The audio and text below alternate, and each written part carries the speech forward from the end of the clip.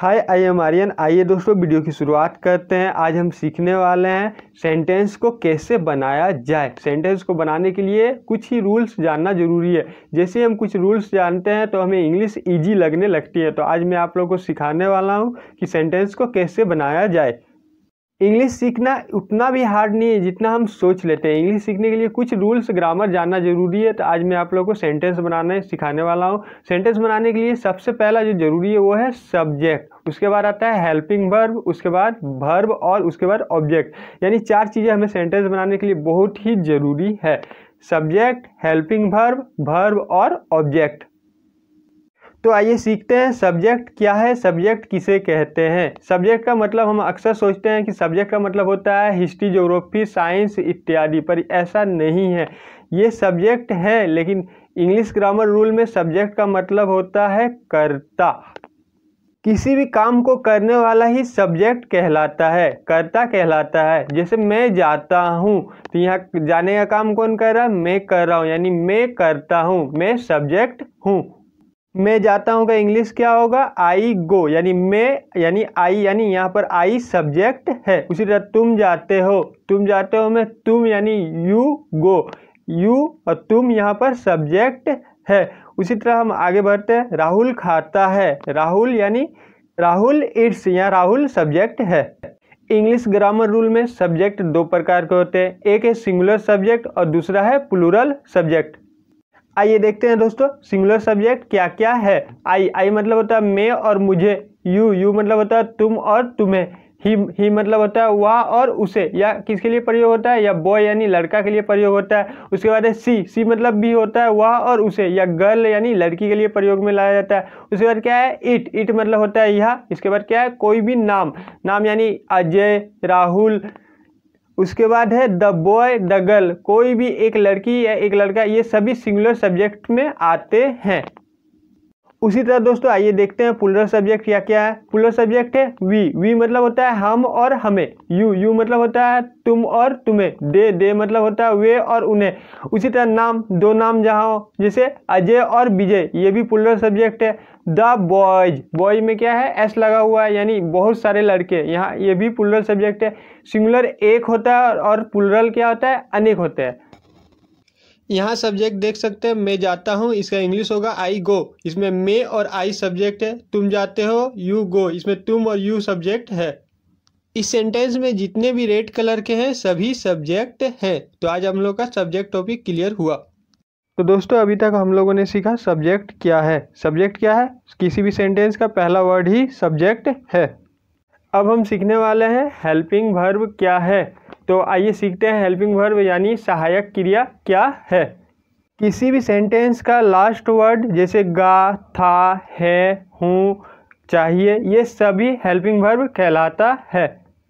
जैसे एक सेंटेंस लेते हैं मैं जा सकता हूँ, इसे इंग्लिश में बोलेंगे आई कैन गो इस सेंटेंस में सकता हूँ यानी कैन ये दोनों ही सहायक क्रिया हेल्पिंग वर्ब है।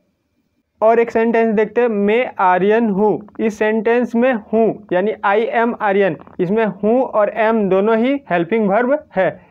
आइए दोस्तों, कुछ हेल्पिंग वर्ब यानी सहायक क्रिया देखते हैं, जो सेंटेंस के लास्ट में यूज़ होता है। तो मेरा पहला है इज़ इज़ मतलब है है। एम एम मतलब है, हूँ। आर आर मतलब होता है, हो। वाज वेयर मतलब था। विल सेल मतलब गा। हैज़ हैव मतलब चुका है, पास है। हेड मतलब चुका था, पास था। कैन कैन मतलब होता है सकता है। और भी देखते हैं दोस्तों, मे मे मतलब शायद सकना सुड सुड मतलब चाहिए होता है। उड उड मतलब गा होता है। कुड कुड मतलब सका होता है। माइट माइट मतलब शायद सकता था, हो सकता है। मस्ट मस्ट मतलब ज़रूर चाहिए, बी बी मतलब होना है। ये सभी सेंटेंस के लास्ट में यूज़ होते हैं, ये सभी हेल्पिंग वर्ब हैं। दोस्तों, अभी तक हम लोगों ने सीखा सब्जेक्ट क्या है और हेल्पिंग वर्ब क्या है। किसी भी सेंटेंस का पहला वर्ड ही सब्जेक्ट है और उस सेंटेंस का लास्ट वर्ड हेल्पिंग वर्ब है। जैसे मैं जा सकता हूँ, इसमें मैं सब्जेक्ट है और सकता हूँ हेल्पिंग वर्ब है। मैं जा सकता हूँ का इंग्लिश होगा? आई कैन गो इसमें आई सब्जेक्ट है और कैन हेल्पिंग वर्ब है। अब हम सीखने वाले हैं दोस्तों वर्ब क्या है? वर्ब किसे कहते हैं? वर्ब का मतलब होता है क्रिया, काम, कार्य।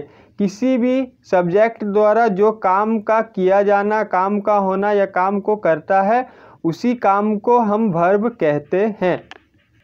जैसे मैं जाता हूँ, मैं क्या कर रहा हूँ? मैं जाता हूँ। यह जाना काम है। यही आपका कार्य क्रिया भर्ब है। इंग्लिश में बहुत सारे भर्ब हैं। भर्ब ही बहुत ही इम्पोर्टेंट है। जैसे आना, जाना, खाना, पीना, हंसना, रोना, लेना, देना, पढ़ना, सभी आपका भर्ब है। इंग्लिश में जितना ना वाले शब्द आते हैं, सभी भर्ब है। आइए दोस्तों, देखते हैं भर्ब कितने प्रकार, कितने रूप होते हैं। भर्ब के पाँच प्रकार होते हैं। भर्ब के पाँचों रूप इस प्रकार है भर्व वन यानी प्रजेंट भर्व टू यानी पास्ट भर्व थ्री यानी पास्ट पार्टिसिपल भर्ब फोर यानी आईएनजी फॉर्म और भर्ब फाइव यानी एस फॉर्म तो जैसे गो गो मतलब होता है जाना। तो ये होगा भर्व वन में वेंट वेंट मतलब गया। ये भर्व टू में, उसके बाद गोन गोन मतलब गया था या गया है। ये भर्व थ्री में गोइंग यानी जा रहा या जा रहा था, ये आपका होगा भर्व फोर में और गोज यानी जाता है, ये भर्व फाइव में। और एक भर्व देखते हैं। आस्क मतलब पूछना, ये भर्व वन में। आस्क्ड मतलब पूछा, ये भर्व टू में। आस्क्ड मतलब पूछा, ये भी भर्व थ्री में। आस्किंग पूछ रहा, ये भर्व फोर में। और आस्क यानी पूछता है, ये भर्व फाइव में आएगा। तो दोस्तों, अभी तक हम लोगों ने सीखा सब्जेक्ट क्या है हेल्पिंग भर्व क्या है और भर्व क्या है। जैसे मैं जा सकता हूँ। इसमें आई यानी मैं सब्जेक्ट है, सकता हूँ। कैन हेल्पिंग वर्ब है, जाना गो वर्ब है। अब हम लोग सीखेंगे ऑब्जेक्ट क्या है। ऑब्जेक्ट किसे कहते हैं? कोई भी चीज़, वस्तु जिस पर वर्ब का प्रभाव पड़ता है, उसे ऑब्जेक्ट कहते हैं। भर्ब की पहचान हो जाने के बाद भर्ब से कहाँ, क्या, किसको जैसे प्रश्न पर जो उत्तर मिलता है, उसे हम ऑब्जेक्ट कहते हैं। जैसे राहुल क्रिकेट खेल सकता है। Rahul can play cricket. Rahul क्या खेल सकता है? क्रिकेट खेल सकता है। या क्रिकेट ही आपका ऑब्जेक्ट हुआ। और एक सेंटेंस देखते हैं। वह इंग्लिश पढ़ सकता है।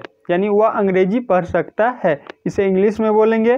ही कैन रीड इंग्लिश वह आपका, यानी ही आपका सब्जेक्ट हुआ।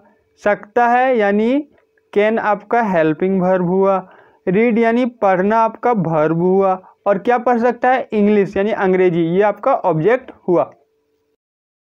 आइए दोस्तों, सीखते हैं इंग्लिश में सेंटेंस को कैसे बनाया जाए। सबसे पहले आपको एक रूल याद रखना होगा। सबसे पहले क्या होगा रूल के अनुसार? सब्जेक्ट होगा। उसके बाद क्या होगा? हेल्पिंग भर्ब होगा। उसके बाद क्या होगा? भर्ब होगा। और उसके बाद क्या होगा? ऑब्जेक्ट होगा। सब्जेक्ट को शॉर्ट में एस, हेल्पिंग वर्ब को एच बी भर्ब को भी और ऑब्जेक्ट को ओ लिखते हैं।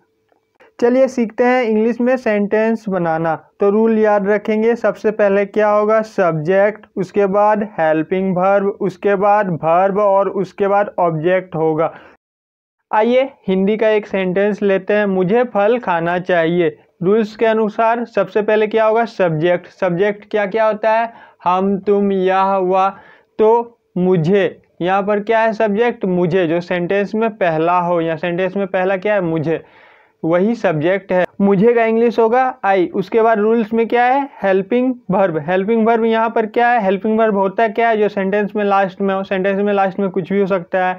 सकता है, चाहिए, चुका है, चुकी है, गा है, ज़रूर चाहिए। तो यहाँ पर क्या है? चाहिए। चाहिए का इंग्लिश क्या होगा?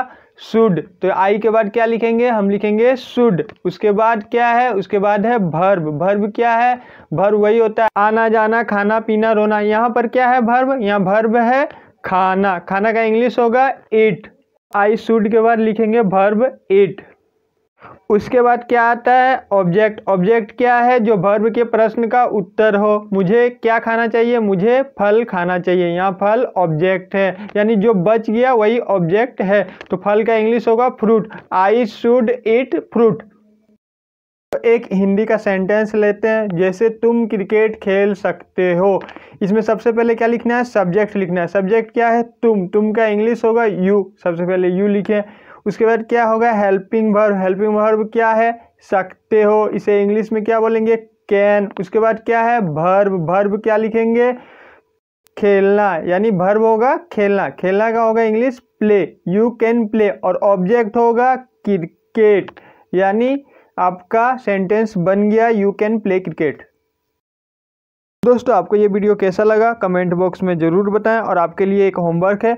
यहाँ दो सेंटेंस बनेगा, सभी अलग किया हुआ है, सब्जेक्ट हेल्पिंग वर्ब वर्ब और ऑब्जेक्ट तो कमेंट बॉक्स में दो सेंटेंस बना के ज़रूर दिखाएँ, या जो भी वर्ड दिया हुआ है। So thank you and bye video को लाइक करें सब्सक्राइब करें